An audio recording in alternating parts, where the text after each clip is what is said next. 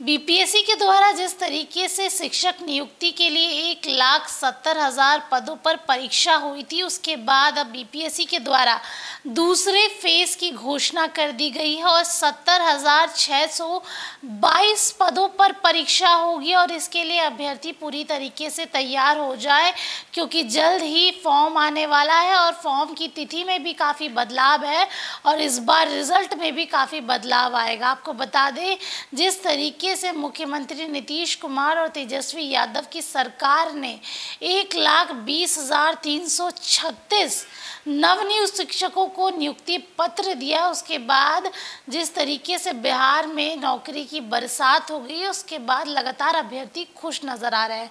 अब बीपीएससी के द्वारा जो दूसरे फ़ेज़ का ऐलान हो गया, उसमें क्या कुछ बदलाव है, हम वो आपको बताएँगे। सबसे पहले तो आपको बता दें कि बीपीएससी की इस भर्ती में कुल सत्तर हज़ार पदों पर योग्य अभ्यर्थियों का चलन, चयन होगा।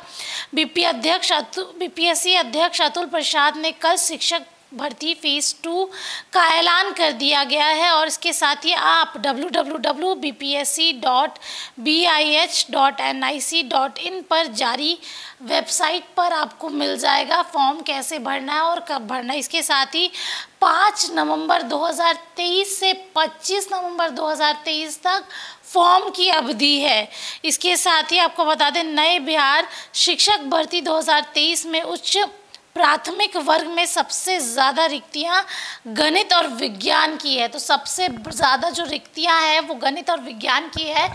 ग्यारह सौ जो है, माफ़ कीजिएगा, ग्यारह हज़ार पदों पर इन दोनों, आप बोल सकते हैं सब्जेक्ट्स में एग्ज़ाम होंगी। इसके साथ, इसके बाद जो है, सामाजिक विज्ञान के लिए आठ हज़ार रिक्तियाँ हैं। अभ्यर्थी यहाँ दिए जा रहे नोटिफिकेशन को आप जाके वहाँ पे फॉर्म भर सकते हैं। पाँच नवंबर से लेकर तेईस नवंबर तक आपको बता दें, शिक्षक भर्ती आवेदन की जो निर्देश है, हम आपको वो भी बताएँगे। सबसे पहले, आवेदन से पूर्व अभ्यर्थियों के पास वैलिड और वर्किंग फ़ोन नंबर होना चाहिए। क्योंकि वो आखिरी तक आपको काम आएगा। उसके बाद शिक्षक भर्ती नोटिफिकेशन आवेदन, योग्यता अहित संबंधी दी गई शर्तों के अनुसार आपको फॉर्म भरना है। ऑनलाइन आवेदन करने के वक्त अभ्यर्थियों को अपने दस्तावेज़ का स्क्रीनशॉट लेना है और और हमेशा ही कॉपी जो बोलते हैं एक्स्ट्रा कॉपी वो भी रखना है क्योंकि जिस तरीके से परीक्षा होती है कभी कभी डॉक्यूमेंट्स में गड़बड़ी भी हो जाती है।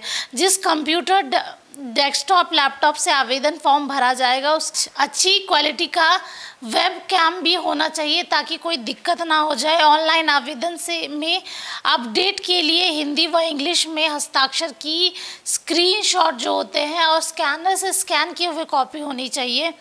इसके साथ ही चार चरणों में पूरी होगी आवेदन प्रक्रिया। बिहार शिक्षक भर्ती के लिए आवेदक प्रक्रिया चार चरणों में पूरी होगी। पहले चरण में रजिस्ट्रेशन करना होगा दूसरे चैनल में वेबसाइट।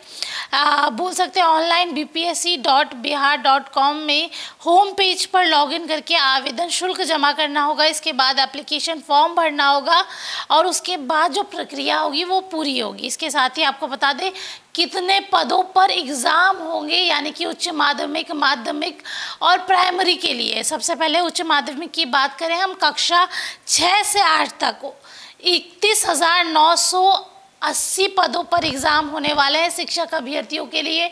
ये मौका है कि छठवीं से आठवीं कक्षा तक के लिए इकतीस हज़ार छः सौ अस्सी पद है। उसके बाद माध्यमिक वर्ग की बात करें तो हम नौ और दस कक्षा के लिए अट्ठारह हज़ार आठ सौ पचहत्तर पदों पर एग्ज़ाम होंगे, कक्षा नौ और दस की बात करें, विशेष स्कूल में 270 पदों के लिए उच्च माध्यमिक कक्षा ग्यारह और बारह के लिए अठारह हज़ार पाँच सौ पचहत्तर।